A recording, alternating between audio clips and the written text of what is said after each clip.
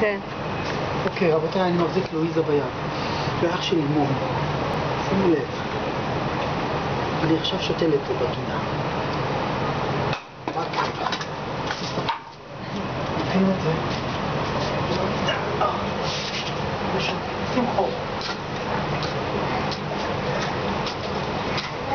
רגע, גם את הילד.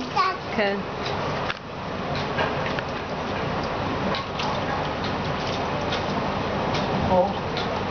רגע, קצת את הילד וקצת פה. כן, קצת.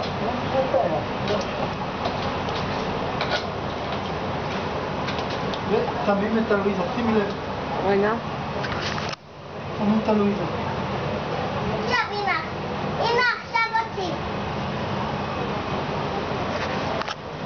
אני צריכה עוד מצלמה ליד הזאת, הבנת?